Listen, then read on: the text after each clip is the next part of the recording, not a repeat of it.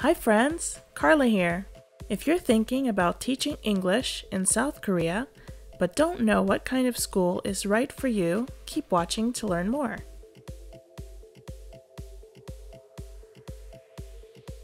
If you're new to my channel and you'd like to see more content about living in South Korea, don't forget to click subscribe and turn on notifications.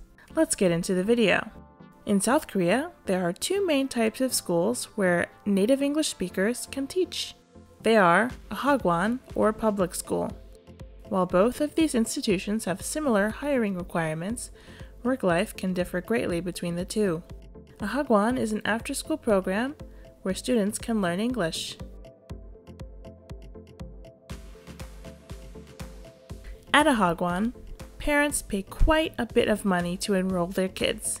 This means that expectations are set very high for teachers, and your employment may be contingent upon the number of students taking classes per semester.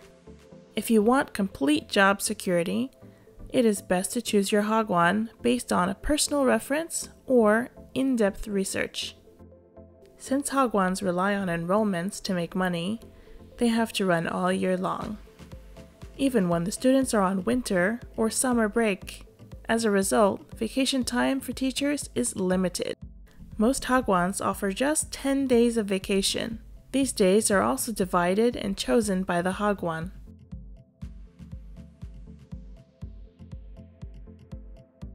Something that's unique about hagwons is the schedule. Since the students take classes after their normal school day, teachers don't start work until 2 p.m. or later. Depending on how many classes there are, a typical workday could end anywhere from 7 to 10 p.m.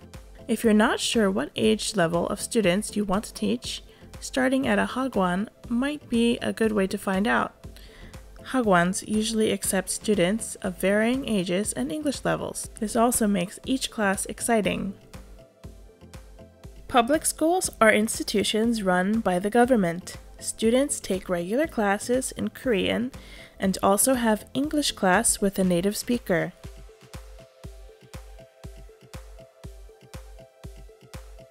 English teachers at public schools often find that they are the only foreigner at their school. This depends on the school's budget and size. Being the only foreigner or native English speaker makes it more difficult to make friends at work, though it's not impossible to make friends outside of work through Facebook or meetup groups.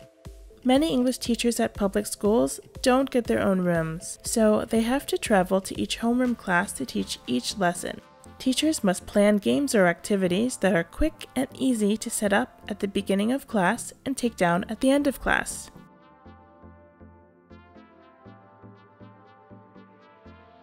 Since public schools are run by the government, they are required to give English teachers basic benefits and follow labor laws in Korea.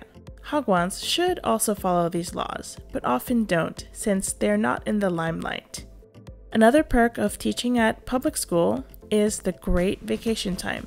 Public school English teachers can expect to have at least four weeks of paid vacation, plus red days or national holidays. Choosing to work at a public school may be best if traveling around Asia is something you want to do. Have you decided which type of Korean school is right for you? Let me know in the comments below. If you enjoyed this video and would like to see more content about life in Korea, don't forget to subscribe. Bye!